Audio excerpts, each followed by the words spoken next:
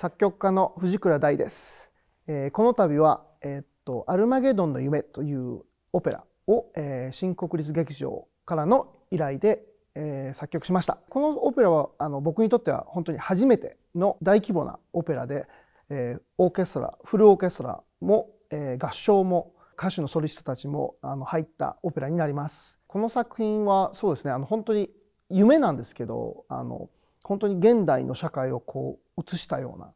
えー、作品になっていて、えーと、H.G. ウェルズの、えー、原作によるオペラになっています。ぜひ皆さん来てください。